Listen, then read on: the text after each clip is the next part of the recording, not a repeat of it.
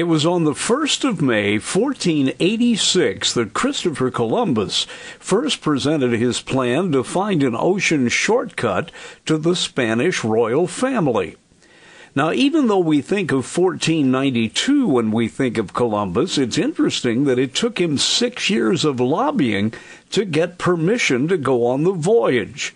He had guts, and the royals were naturally skeptical because the oceans were poorly mapped at the time, and many thought the world was flat.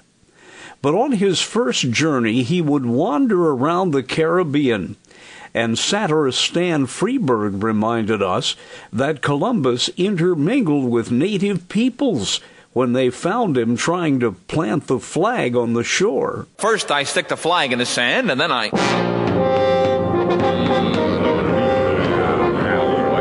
Watch yourself, Admiral. Natives. They may be hostile. Well, we're all a little hostile now and then. Some of us are able to sublimate, others can't adjust. You know how it is. Freberg's delightful take on Columbus ends with Columbus trying to cash a check to get some money to buy one of the islands. If you'll direct me to the nearest bank, I'll get a check cash. You out of luck today. Bank's closed. Oh? Why? Columbus Day.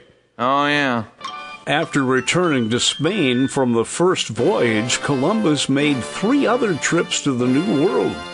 He was quite a traveler and he all began his lobbying efforts to discover something on this date, way back in 1486. I'm Dennis Daily. Oh, yeah.